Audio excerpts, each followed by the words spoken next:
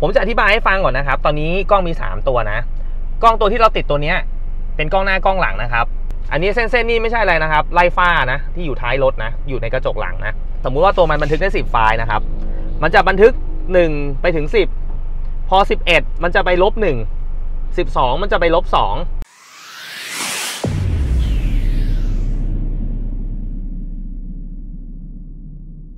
วัสดีครับ ช่างนัดนะครับจากนัด Racing Channel นะครับช่างประจำร้านเรดนะครับ วันนี้เราอยู่บนรถ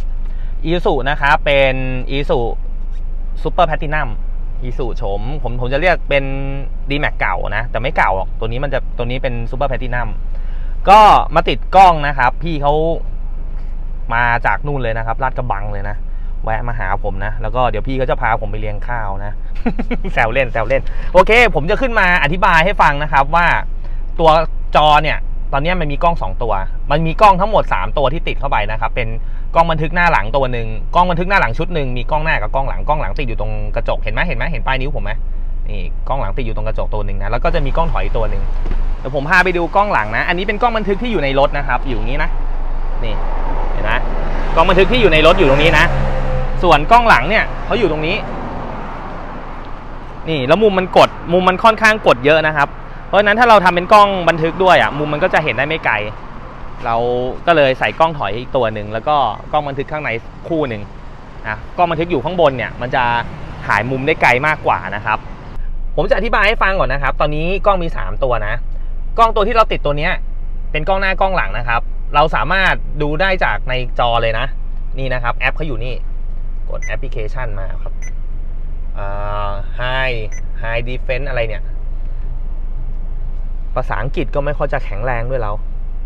นี่ อันนี้เป็นกล้องหน้านะครับ ดูนะ ละเอียดดีไหมเห็นไหมชัดดีไหม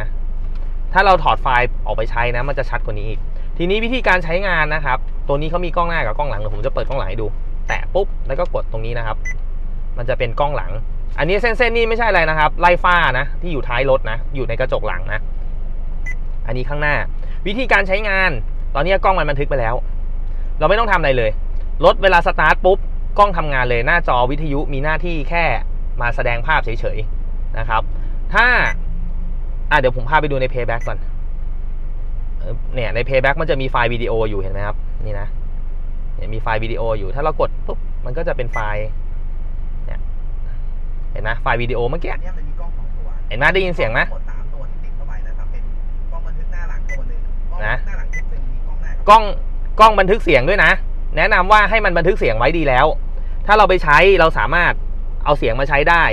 แต่ถ้าเราเวลาเราพูดอะไรไม่เพาะ แล้วเราอยากจะใช้ไฟล์วิดีโอเราสามารถไปดูดเสียงออกได้นะครับ ให้ไฟล์ไม่มีเสียง แต่ถ้ามันไม่มีเสียงแล้วเราจะใช้เราจะใช้ลำบากนะ เพราะนั้นให้มันมีเสียงไว้แล้วสามารถทำอะไรได้ อะ เรามาถึงตรงนี้ก่อน ถ้าสมมุติว่าเกิด ไอไอกล้องเนี่ย วิธีการบันทึกเขาอะเขาจะบันทึกวนไปเรื่อยๆ นะสมมติสมมุติว่าบันทึกได้ 10 ไฟล์นะสมมุติว่าเครื่องสมมุติว่าตัวมันบันทึกได้ 10 ไฟล์นะครับ มันจะบันทึก 1 ไปถึง 10 พอ 11 มันจะไปลบ 1 12 มันจะไปลบ 2 มันจะวนไปอย่างนี้เรื่อย ๆ ถ้าเป็นกล้องบันทึกแบบนี้ไอแบบตัวเก่าที่พี่ใช้อยู่อะตอนแรกอะมันจะมีอ่าไม่เป็นไรพี่มันมันจะมีระบบหนึ่งที่เขาเรียกว่าระบบอ่าสั่นสะเทือนอะพอสั่นปุ๊บมันจะล็อกไฟล์ล็อกไฟล์เหมือนอันเนี้ยเดี๋ยวอันนี้เดี๋ยวอธิบายให้ฟังอธิบายตัวนู้นให้ฟังก่อน พอสั่นปุ๊บมันจะล็อกไฟล์พอมันล็อกไฟล์ปุ๊บจากที่มันได้ 1 11 จะไปลบ1ใช่ไหมสมมุติมันล็อกไป 3 ไฟล์จาก 11 ไปลบ1 1 มันลบไม่ได้ล้วมันไปลบมันไปลบ4แล้วแทนที่พี่จะบันทึกย้อนหลังได้ 10 ไฟล์พี่บันทึกย้อนหลังได้แค่ 7 ไฟล์เพราะมันใส่กุญแจไปแล้ว 10 แต่ว่าตัวนี้ไม่มี ไอ้กล้องบนรถเนี่ยไม่มี ที่เขาทำให้มันมีอย่างนั้นเพราะว่ามันบางทีแบบสมมุติว่ารถมันกระแทกแรงๆเขาอาจจะคิดว่ารถเราชนเขาก็เลยเก็บไฟล์นั้นใส่กุญแจไว้ ไม่ให้มันลบ แต่กล้องตัวนี้ไม่มีไม่มีระบบนั้น เพราะฉะนั้นเมมมันจะไม่เต็ม มันจะวนไปเรื่อย แต่แนะนำว่าเขาแนะนำว่าให้ format สักเดือนละครั้งไม่มีวิธี format อยู่แต่ว่าอ่า format เดี๋ยวผมจะอธิบายให้ฟังตอนนี้สมมุติสมมุติว่าตอนเนี้ยไอไฟล์วิดีโอที่ที่เราดูอยู่เนี่ย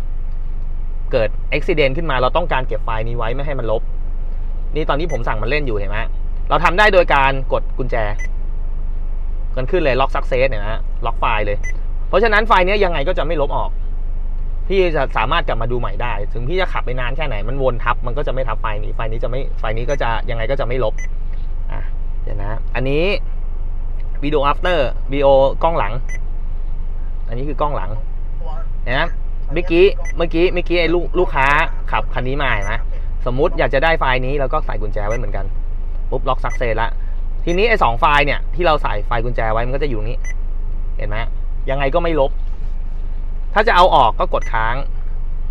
เนี่ย you want to delete ลบได้เลย ลบจากอย่างนี้เลยก็ได้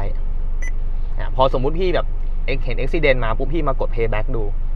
สมมุติเจอไฟล์พี่ก็ใส่กุญแจไว้แล้วค่อยมาว่ากัน ไฟล์สามารถเราสามารถโหลดไฟล์ออกมาจากเครื่องได้ หรือจะถอดจากเมมก็ได้ ถอดจากเมมในกล้องเนี่ย ถอดเมมตรงนี้ออกมา แล้วก็ไปใส่ในคอมพิวเตอร์ก็ได้ ส่วนมากเวลาผมจะใช้ผมก็ถอดเมมออกง่ายกว่า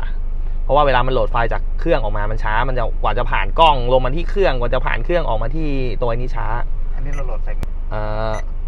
นี่ setup เมื่อกี้เราจะทำอะไร เราทำการ format card นี่ครับ กด setup ขึ้นมามี format เลย กด format ปุ๊บ กด yes ปุ๊บ มันก็ format เลย เดือนละครั้ง พอ ไม่ต้องไม่ต้องเยอะ แต่ผมนะ เวลาผมจะเดินทางไกล ผมจะ format card ไม่ว่าจะเกาะไม่ว่าจะกล้องยี่ห้อไหนก็แล้ว แต่จะ Thinkware ตัวเป็นหมื่น ผมก็จะ format ก่อนเดินทางเพื่อให้แบบว่าเฮ้ยมันเคลียร์ที่สุดเลยบางที อย่างผมทำวิดีโอเงี้ยผมก็จะเอาไฟล์วิดีโอเนี่ยนะมาทำใช้ได้ อันนี้เรียบร้อยนะครับ ทีนี้ ให้ดูกล้องหลังไว้กล้องหลังเป็นตัวนี้อะพี่ลองเหยียบเบรกแล้วใส่เกียร์ถอยดู มันตัดเป็นกล้องอีกตัวหนึ่งเป็นกล้องข้างหลังเลยเห็นไหมตอนนี้กล้องมุมมันตัดกล้องมุมมันกดอยู่ เราสามารถตั้งอ่าเราเราที่เราใช้กล้องสองตัว เพราะว่าตัวเนี้ยมันอยู่ข้างหลังถ้าเราเอามาทำทำเป็นกล้องบันทึกด้วยอะมุมมันจะกดแล้วมันจะเห็นได้ไม่ไกล อันนี้ตั้งค่าได้ ให้มันสว่างให้มันมืดอะไรได้ ตั้งค่าเส้นได้ ปิดแม่งเลย เยอะเหลือเกินนะมันก็จะมีสองอัน อ่านี่เหลยแต่อันนี้ละอย่าไปเชื่อมันเยอะ ดูเฉยๆว่ามีอะไร อย่าไปเชื่อมันว่า เฮ้ย แม่งอีกไกลอะไรเงี้ยอย่าไปเชื่อมัน ไว้ดูอย่างเดียวเผื่อมีดงมีเด็กอยู่ท้ายรถถอยจะได้เห็นอ่าอันนี้ประมาณนี้อะคืนค่าได้ ให้สว่างให้มันมืดปรับค่าได้โอ เคครับอะปลดเกียร์ครับพี่ ไอไออะรบกวนอีกขออีกทีหนึ่งไออันเนี้ย อันนี้ไม่ อันนี้ใช้ไม่ได้นะ ไม่ได้มีเซ็นเซอร์ไม่ได้มีอะไรนะเขามีรูปรถให้ดูอย่างเดียว ใช้ไม่ได้ โอเค อันนี้ก็ประมาณแค่นี้ครับ ประมาณประมาณนี้ วิธีการใช้งานแอปนี่ออกเนี้ยโอเคครับสำหรับกล้องนะก็มีประมาณนี้นะเผื่อท่านใดสนใจนะครับ เข้ามาได้นะ กรุงเทพไม่ได้ไกลนะครับ กับศรีราชานะ พี่เข้ามาถึงพี่เขาไปเที่ยวต่อพัทยา ถ้าดูคลิปแล้วถูกใจ ฝากกดไลค์ กดแชร์ กด subscribe ด้วยนะครับ